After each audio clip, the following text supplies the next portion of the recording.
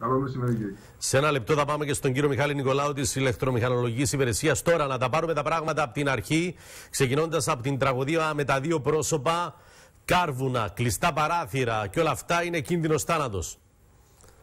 Προφανώς. Απλά, κύριε Κυριακού, θέλω έτσι στην εισαγωγή μου να πω ότι θα αναφερθούμε στην αξιολόγηση και εκτίμηση η οποία έγινε επί της σκηνής και σίγουρα το τελικό μπόρισμα θα βγει αμέσως μετά την ιατροδικαστική έρευνα και τις οποιασδήποτε εξειδικευμένες εξετάσεις θα ακολουθήσουν. Σίγουρα.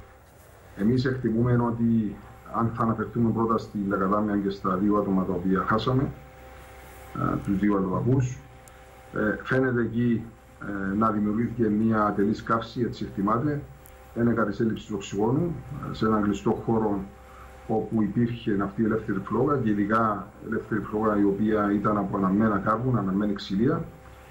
Εκτιμούμε ότι επιπρόσθετα από τη ψησταριά του στην ουσία που ήταν εκεί λειτουργούσε και θερμάστρα προφανώς πετρελαίου. Εκτιμούμε, αυτή είναι η εκτίμηση μας. Ε, και αυτό ε, επιδίνωσε την κατάσταση, δημιούργησε ουσιαστικά το μονοξίδιο του άνθρακα, γιατί ήταν ένας επτασφράγιστος χώρος. Και το μονοξίδιο του άνθρακα, όπως αναφέραμε και σε άλλες περιπτώσεις, κύριε Κυριάκου, είναι ένας σιωπηλός δορυφόνο, έτσι ονομάζεται στη βιβλιογραφία. Είναι τοξικότατο, άχρωμο, άοσμο, το οποίο στην αρχή σε αποπροσανατολίζει, χάνει τι αισθήσεις σου και μετά καταλήγεις. Δεν υπήρχε Από... ίχνος οξυγόνου, με λίγα λόγια. Προφανώς. Ναι. Για να χάσουν τη ζωή του και τρίτον άτομο να είναι σε ηλιπόθυμη κατάσταση για να μεταφερθεί εστεσμένο στο νοσοκομείο, σίγουρα αυτό είχε γίνει εκεί. Και επιπρόσθετα να πω ότι αυτόν, η, παραγωγή του μονοξυδίου του άνθρακα σίγουρα είναι πολύ πιο α, αυξημένη στη δημιουργία όταν υπάρχει αυτή η ελεύθερη καύση ξυλίας ή καρβούνων ή οποιοδήποτε άλλο υλικό.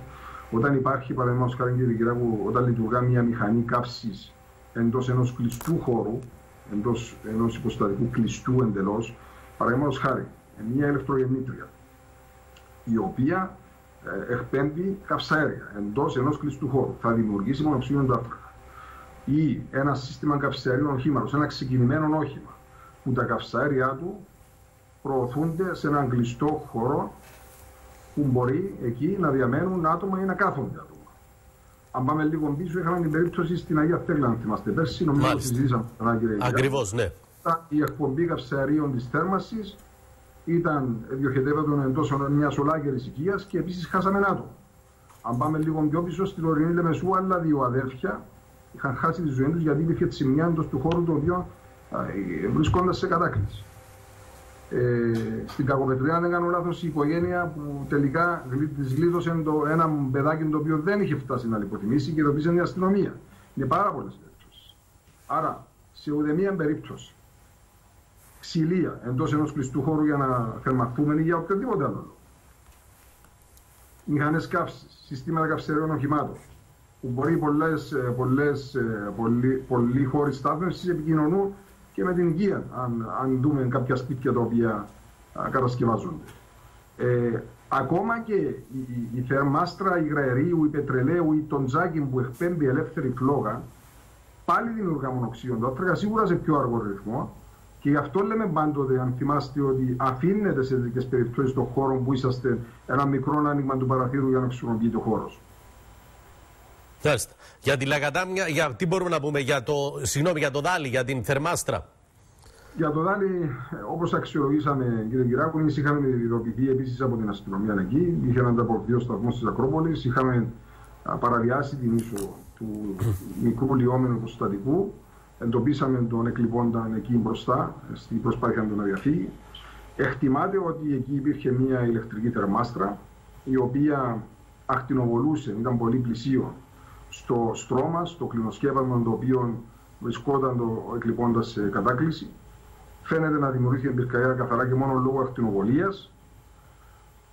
Άργησε να την εντοπίσει, να την αντιληφθεί, προσπάθησε να εξέλθει του χώρου, δεν τα κατάφερε γιατί είχε ήδη εισπνεύσει τους τοξικούς καπνού, τα θερμά αέρα τα οποία δημιουργήθηκαν στον χώρο και δεν τα κατάφερε να εξέλθει του χώρου. Αυτό εκτιμάται μέχρι αυτή τη στιγμή, μέχρι ε, να διερευνηθούν και οι άλλες εξειδικευμένες εξετάσεις. Εμείς, καθαρίζω και δεν κοιτάξω ότι διερευνούμε επί της σκηνής. Σίγουρα η αστυνομία διερευνά και πέραν της σκηνής. Γι' αυτό με κάθε επιφύλαξη αξιολογούμε ότι αυτό μπορεί να συνέβη στο συγκεκριμένο χώρο. Τώρα ο τρίτος που κατάφερε να. Ο τρίτος ειδοποίησε τις αρχές στη, στην περίπτωση που είχαμε τους δύο θανάτους. Νομίζω ήταν τέταρτο άτομο το οποίο προσπαθούσε να. Να ανοίξει και δεν του απαντούσαν, μάλιστα. Να ανοίξει, να, να έρθει σε επαφή μαζί τους. Ε, τουλάχιστον, έχω, ε, τουλάχιστον εγώ έτσι έχω ενημερωθεί. Μάλιστα. Λοιπόν, προσοχή, αφήνουμε πάντα παράθυρο ανοιχτό για να αναπνέουμε, να παίρνουμε οξυγόνο. Είναι κίνδυνος θάνατος. Προσοχή. Και δεν ήταν και κρύο, δηλαδή δεν ήταν και χαμηλές θερμοκρασίες χθες προχθές. Τώρα εντάξει δεν ξέρω σε ποιες συνθήκες ζούσαν αυτοί οι άνθρωποι και στα υποστατικά που βρίσκονται πόσο κρύο έκανε. Αλλά ό,τι και να είναι πρέπει να υπάρχει χώρος να μπαίνει οξυγόνο, να είναι ανοιχτά τα παράθυρα, κύριε Γετή. Ακόμα κύριε Κυριάκου, εκτός σε αυτό το οποίο αναφέρεστε και πολύ ορθά αναφέρεστε, διότι το επαναλαμβάνω συνεχώς, εάν έχουμε την ευχαίρεια σε τέτοιους χώρους στους οποίους βρισκόμαστε και υπάρχει θέρμανση ελεύθερης ανοιχτής φλόγα να τοποθετήσουμε ένα ανοιχνευτή μονοξυδίου του άνθρακα, αυτό θα είναι ακόμα καλύτερο. Να μας ενημερώνει ότι τα επίπεδα οξυγόνου έχουν πέσει και ανέβηκαν τα, το, τα επίπεδα του μονοξυδίου του άνθρακα και πρέπει να δούμε τι να κάνουμε. Δηλαδή να το αντιληφθούμε έγκαιρα και άμεσα. Μάλιστα. Ευχαριστώ πάρα πολύ κύριε Γετή.